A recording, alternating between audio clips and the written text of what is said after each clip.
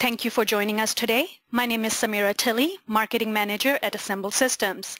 In our flash briefing today, we are going to share with you upcoming functionality in Assemble that will allow you to do even more with BIM data. Now let's get started. It is my pleasure to introduce you to Tim Kelly, Director of Partnerships at Assemble. Go ahead, Tim. Thanks, Samira. Um, so today I'm going to run through our agenda really quick. We're going to dive into just a brief introduction of Assemble, and then we're going to talk about our class editor concept. I know uh, some of you have heard us talk about this in the past, and we want to talk about the um, overall concept as well as some of the upcoming functionality. Um, and then we'll do a brief uh, review of uh, some of the sub-instance data and non-modeled items this will drive, as well as demo the functionality. Uh, so with that, Assemble, uh, Assemble Systems is a cloud-based product to manage model-based data, uh, point clouds, and other drawing content. Um, so we uh, categorize ourselves as a system of engagement uh, because we allow you to bring other data sets into one uniform environment, condition that, organize it the way you need for your workflow, and connect with a number of other users and systems across uh, your project team. Uh, with that, um, just kind of a quick walkthrough of how we actually access uh, we're totally web-based, so there's no need for downloading products and installing things. Um, we're, we're um, accessible on the web, so for the vast majority of your users, it's simply a login to get access and to organize all of the data, the visual content, as well as your property information uh, behind that data. We have approximately uh, 13,000 projects that have been completed inside of Assemble, and that's across a little over uh, 10,000 users. Um, we're in about a thousand construction offices across the United States and around the world. Um, and we have some key well, workflows and partnerships that we integrate with, uh, specifically listed here, Autodesk, Sage, Procore, uh, Oracle, and iSquarefoot. Uh, there are another uh, number of other integrations that we're working through, and that's kind of around the concept of uh, what we organize ourselves around as a system of engagement. And we want to allow for all of those systems to uh, talk together and um, allow you to aggregate your information in, in a, a, seamless interface. So jumping into specifically the class editor over what we want to allow for, and, and as a system, we, have talked a lot about conditioning in the past and, and what we kind of categorize that as is making ready for use. So if I condition something, I'm adding some coding structure. Uh, that might be specifically related to uh, estimating or might be related to scheduling or whatever your function is that you're getting that data organized for. Um, we've had for a long time a request to do more with expanding our capabilities on, on calculations and uh, numerical values, and, and that's what we're working through here. Uh, we want this class editor to be uh, kind of uh, an input of rule-based calculations and classifications of your model content. Um, that's going to be both on the actual assembly or the model instance itself as well as uh, allow for additional non-modeled objects uh, or sub-assemblies from there. Um, we want to bring that data in from other sources that you may have. So if you have some potentially some estimating database structure where uh, you rely on assembly information and you want those material quantities to be captured and brought into your your model workflow. Um, that's that's where this is going to be engaged. Um, and then we also allow, want to allow for um, this this idea to be executed on uh, when you publish content into the system. So I upload a new model, we automatically run rules and uh, walk through those calculations um, uh, in the backend, as well as um, allow for that to that same event to happen when properties are edited or updated by the users or changes occur when you publish new revisions of your model. Uh, so today uh, we're working towards allowing for um, management of exactly when those rules are executed. Uh, your team will be able to create a, a, table of different things that will occur, um, properties that will be added, and um, we'll be building out the capability of uh, when those uh, particular rules are uh, run or executed on each property set. Some examples of how we've done this in the past and how it already interacts with our system. We do currently have some um, rules that occur under the cover under the covers. Um, on the left, you're going to see an example. This is something that we've had um, in our product, uh, the duration of uh, assemble systems, is the ability to, on structural members, calculate uh, the tonnage or, or, weight by length or weight by volume. And, and, what we're doing is looking for specific properties uh, and values and then um, running calculations based on what's occurring. Um, so in this case, kind of it steps through if, if there's a structural member and we identify the, cat, the categories there and it has a WT property, uh, then we run a calculation. If we don't see a WT property, then we go through a few steps to actually get to the point of running a calculation for your total tonnage of structural steel. Um, we have a number of other of these that are occurring under the covers, but the idea is that we want to give you uh, the, the control of managing what rules are interacting with your model sets and, and what information you're adding, what type of properties or data you're putting in there. Another example of how different properties interact is the way our assembly codes work today you can select objects and apply an assembly code. And based off uh, an assembly code table that you've populated in your project, you can also then apply the unit of measure you want to specify, the unit cost associated to that, as well as a, a level of uh, development uh, required.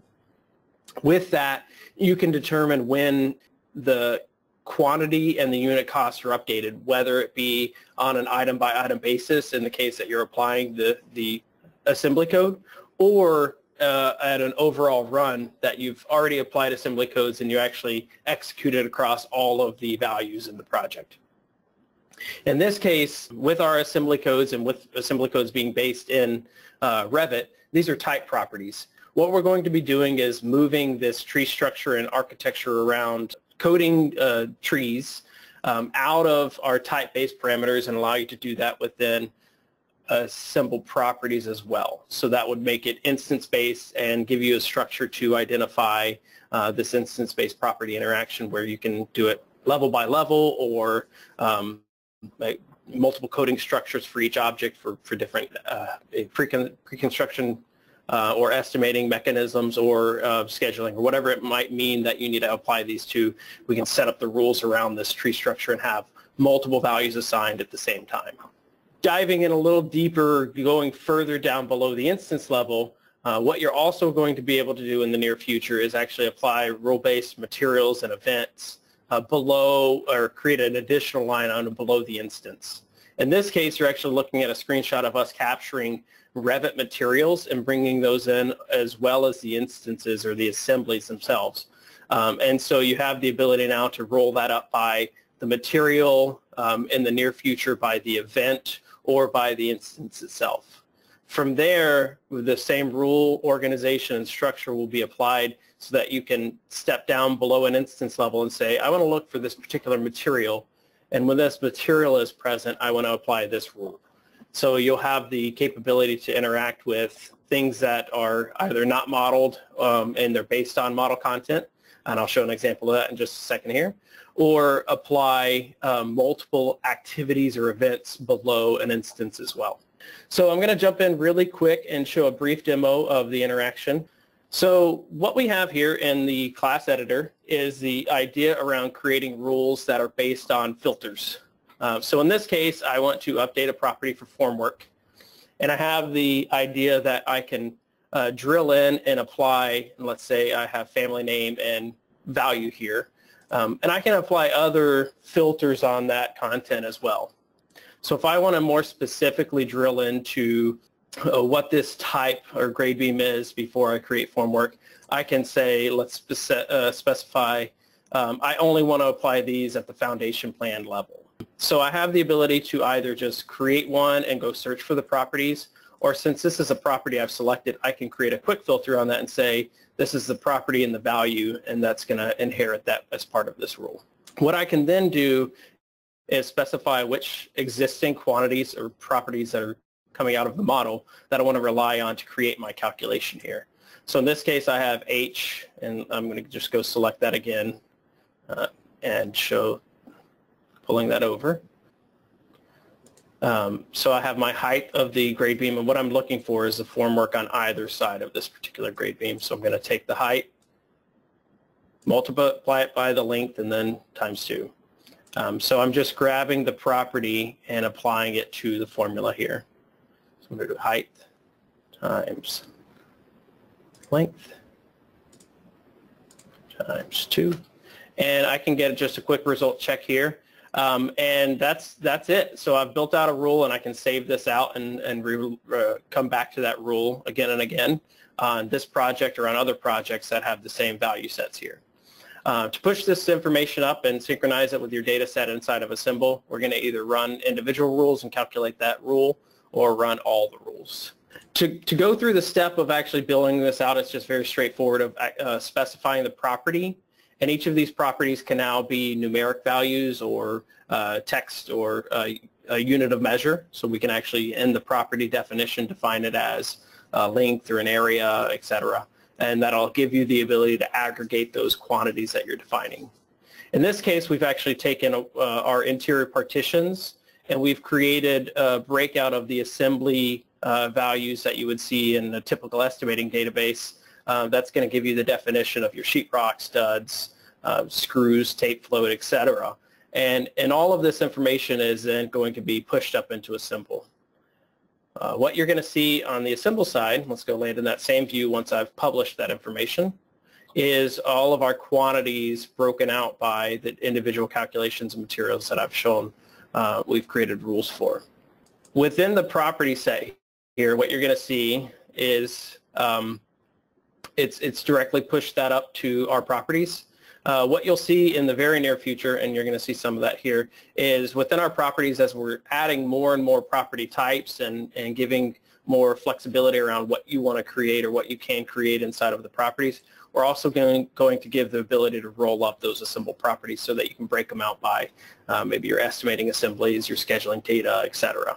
Um, so, so the concept here is that you can then uh, take quantities or information here and, and, and roll that up to uh, a higher level so you're not seeing uh, you know 30 or so properties all, all listed as one.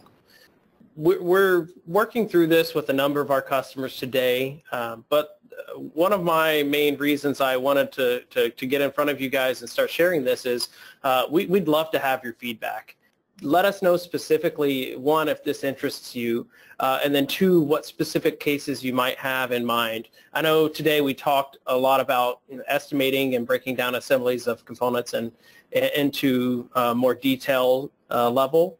Uh, we've also started talking through the process with a number of, of uh, customers around how this associates to scheduling or in the case that I might have a grade beam that has multiple schedule activities and I want to associate data to each of those in a rule-based fashion. Uh, so you have a grade beam that has, um, you know, dig or excavate, then uh, reinforce, then form work, then pour, whatever that might be we want to understand more about what, what you guys think this applies to and what might be beneficial for us to consider as we step through this. So um, uh, please, please do let us know uh, what you, you think about different workflows and use cases you see here.